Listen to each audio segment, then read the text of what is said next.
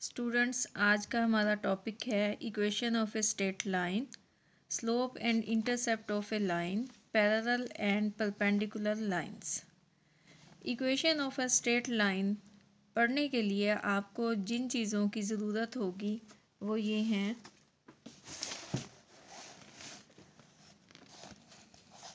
Definition है inclination of a line the angle alpha where alpha is greater than 0 degree and less than 180 degree measured counterclockwise from positive x-axis to a line L is called the inclination of L. इस diagram में देखें कि आपके पास एक line L है ये x axis है और ये लाइन y एक्सिस है और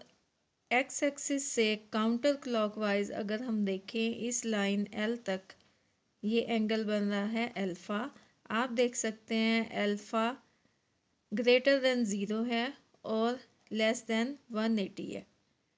तो ये जो एंगल होगा अल्फ़ा इसको हम कहेंगे इंक्लिनेशन ऑफ़ एल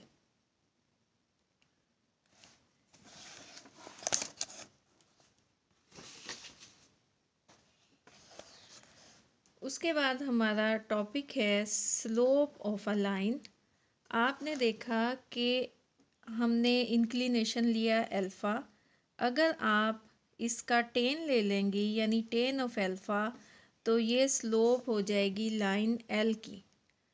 तो स्लोप को हम अमूमन डिनोट करते हैं एम से स्मॉल एम से, और इस तरह से एम इक्वल होगा टेन ऑफ़ अल्फ़ा के.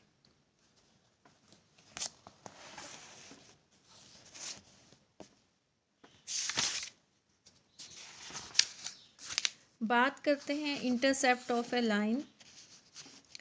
if a line L cuts x axis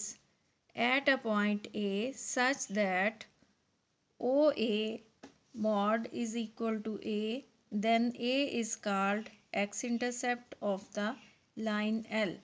यहाँ देखें आपके पास डायग्राम में ये लाइन एल है, जो एक्स एक्सिस को कट कर रही है पॉइंट जिसके कोऑर्डिनेट्स हैं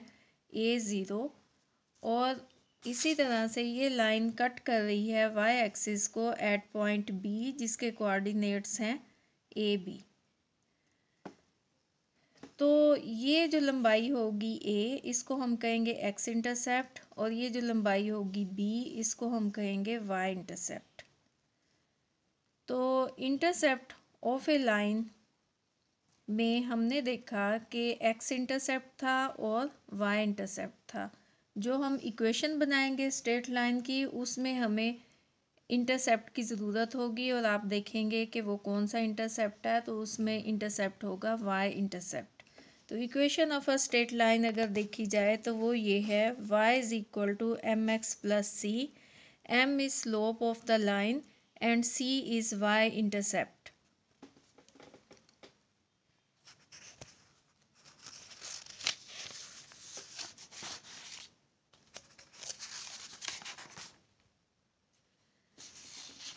अब बात करेंगे पैरेलल लाइंस की और परपेंडिकुलर लाइंस की।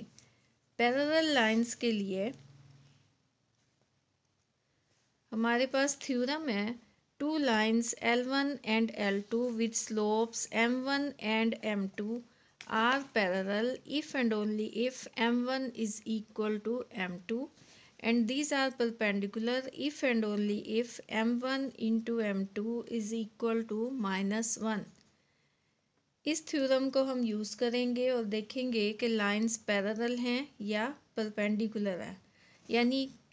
अगर दो लाइंस पैरेलल होंगी तो उनकी स्लोप्स इक्वल होंगी और अगर दो लाइंस परपेंडिकुलर होंगी तो उन दोनों की स्लोप्स का प्रोडक्ट माइनस वन के इक्वल होगा।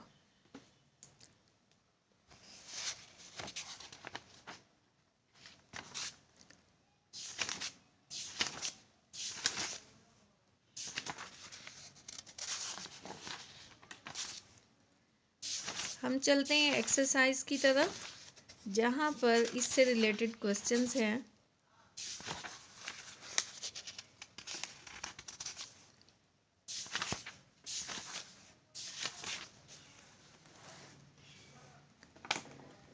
एक्सरसाइज